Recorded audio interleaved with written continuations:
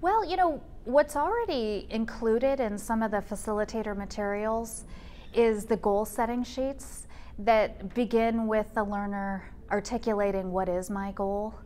because that gives the learner an opportunity to measure his or her growth and process and in, in for lack of a better word success in coming out of the learning circle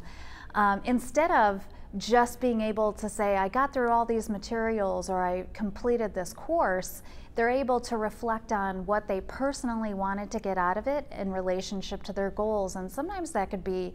learning digital skills. Sometimes it could be learning social skills. Sometimes it's how do I speak articulately in front of a group of people.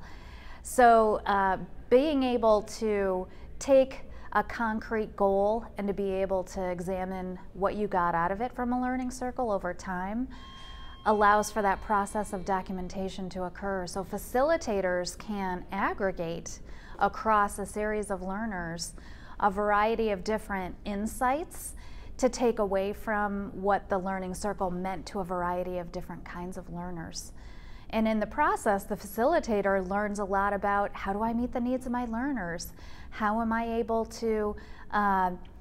customize and repackage some of this the next time I go out to do a new learning circle? keeping the learners that they know in mind how they want to use the information and the ways that it uh, helps them to personally um,